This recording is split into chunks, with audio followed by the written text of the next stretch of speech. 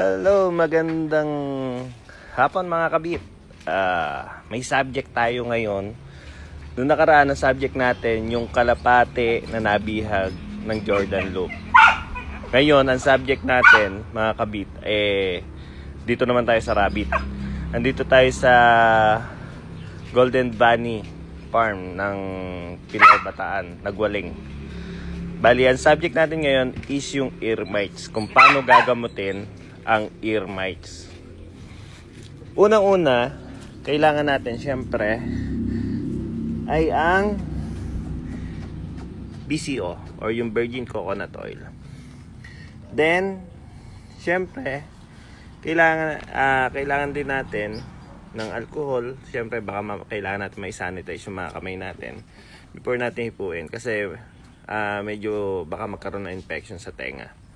Ngayon, para makaiwas tayo dito sa ear mites, kailangan natin ng bisitahin ba ang mga tenga ng ating rabbit. Kasi kung hindi natin bibisitahin ang mga tenga ng ating mga rabbit, eh possible, hindi natin napapansin na malala na pala yung ear mites niya, eh ayun, baka magkaroon ng infection.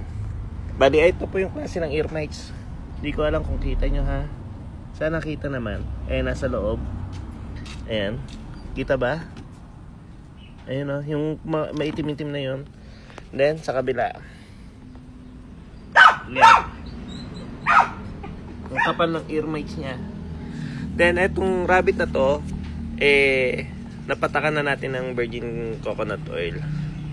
Ngayon, pagkapatak natin ng virgin coconut oil pa lang, ayun, nag-drop na kagad ang ano niya, ear mites niya, ayan.